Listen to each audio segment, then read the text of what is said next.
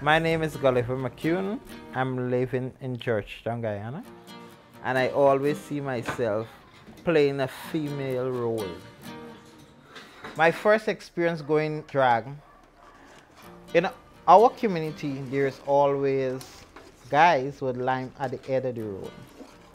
So as I approaching, I noticed everybody was jumping to pick up whip to beat me and I ran away. I scaled the fence for my safety. And the funny thing that I could laugh about it is about 20 guys was running behind me and they couldn't catch me.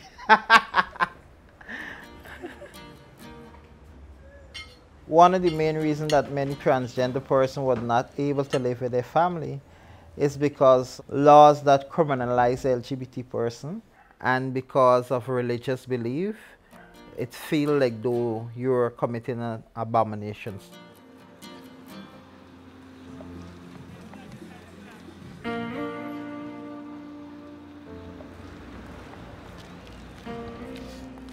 or if I was in another country where they accept gay people, I would have lived my life better because here in Guyana, it's a difficult task.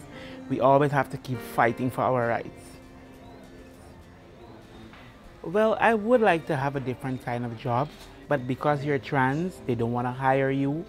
So the only thing leads for us to do is prostitution in Guyana here.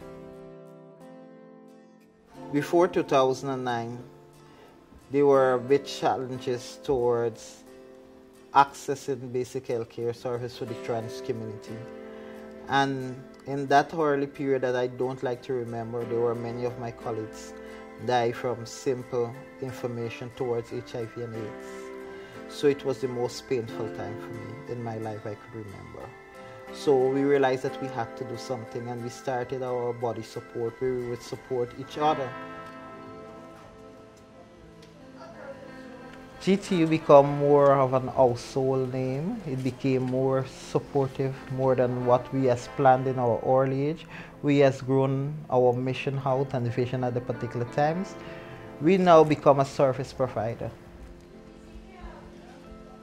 Some of the service that we do at GTU, we do case navigating, we do psychosocial support, we have a safe space, we screen person for gender-based violence, where we document incident of stigma and discrimination. We do HIV counseling and testing. We do support group meeting for our community members who are affected by HIV and infected. We do support group meeting with family. We're able to create a youth arm of GTU, which cater for the younger trans person. So that is GTU and more.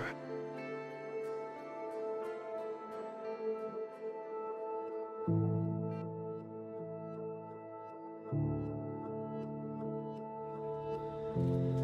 it's not very nice at all. It's very hard to witness murders, not one, but more than one time seeing my friends die, who get shot, who get stabbed, who get the throat slit and all kind of things. I witnessed a lot in my lifetime. Being a transgender, being on the street. The challenges sex workers face in having safe sex is with clients. I mean, you would want to do the business with the condom, but because of situations, you might just do it without the condom for financial purposes. And sometimes it could be on the client that you're going with. He agreed to use the condom, but while you're in the process of doing the business, he takes it off. Probably when you meet in the room, he tells you plain, I'm not gonna have sex with a condom and you can't do nothing about it. And most times, these people that come to you is people like you know, like over you with power, so you have to subdue in order to come out without a scrape. As a trans woman, without these NGOs support, you go into the station to make a report, it can't happen. But now that we have an organization and we have people fighting for the rights for us, it's getting a little better.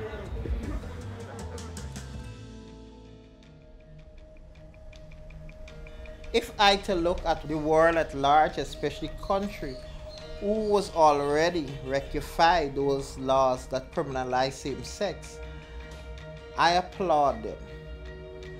But to scale Guyana there, Guyana is nowhere close. We're now in maybe at zero getting into one in our work of advocacy. and effective real change.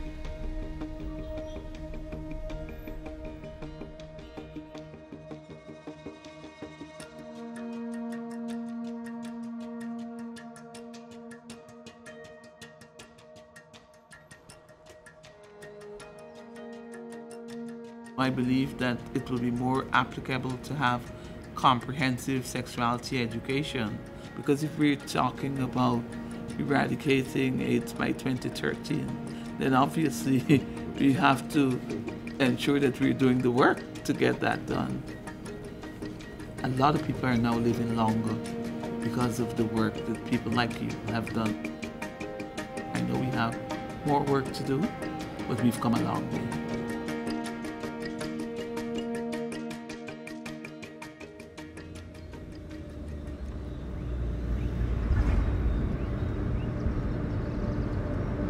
I think the world should be more accepted. And once you can actually have a world that embraced and accept all persons for whatever their gender, their race, their color, their religious or whatever dynamics, I think we would be having a blossom pink world. That the sky maybe the color would not be gray at no more, it would become pink, it would be a pink world. that everybody would live in harmony.